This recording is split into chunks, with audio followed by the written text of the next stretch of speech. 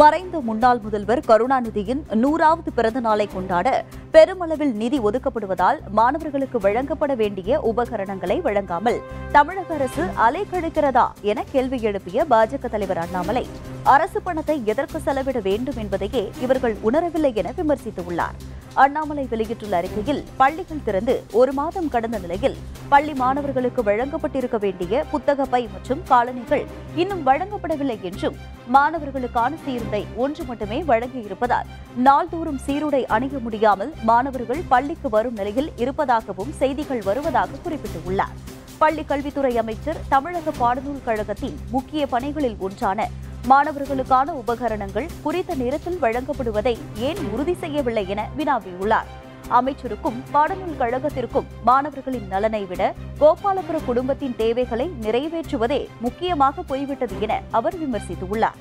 மறைந்த முன்னாள் முதல்வர் கருணாநிதியின் நூறாவது பிறந்த நாளை கொண்டாட அமைச்சர்கள் தலைமையில் பனிரெண்டு குழு அமைத்து ஒவ்வொரு குழுவுக்கும் மூன்று முதல் நான்கு கோடி ரூபாய் செலவிடப்படுவதாக தெரிய வந்துள்ளது என அவர் குறிப்பிட்டுள்ளார். பெருமளவில் நிதி இதற்கு ஒதுக்கப்படுவதால் மாணவர்களுக்கு வழங்கப்பட வேண்டிய உபகரணங்களை வழங்காமல் தமிழக அரசு அலைக்கழிக்கிறதா என அவர் கேள்வி எழுப்பியுள்ளார்.